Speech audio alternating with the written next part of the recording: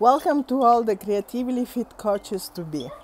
And welcome to this new journey that we're going to embark together as I will be one of your guides this year. And uh, we're going to create and co create together.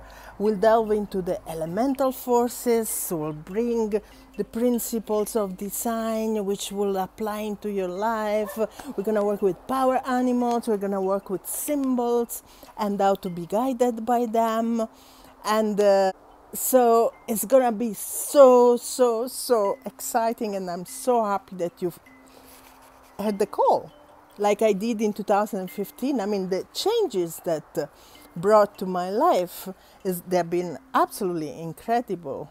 Since then, I became a artist, and I don't call myself artist, but artist, as in the heart, as well as a heart healer. I've been into healing for the past 25 years, so quite a long time, and. Um, and to do the, the process of the coaching, apart that the I, I teach other people to do the same, which is absolutely beautiful.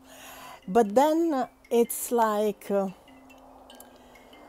uh, it's a way to really live your life fully because you tap into your creativity and uh, you become you start to flow with it and so that's a, such a gift because we always think that creativity flows and then it stops and it's not true.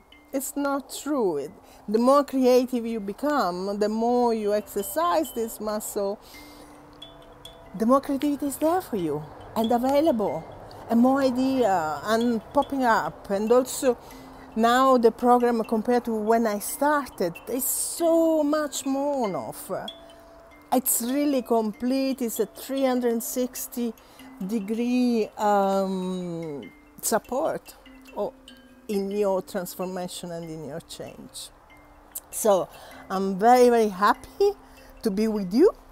And uh, you can see what I do on my YouTube channel, and I'm going to put the link just now. So, see you in class and uh, I'm so grateful that you're here. Bye.